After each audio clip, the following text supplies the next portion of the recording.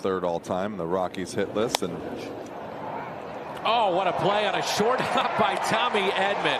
My goodness. is there anything that this young man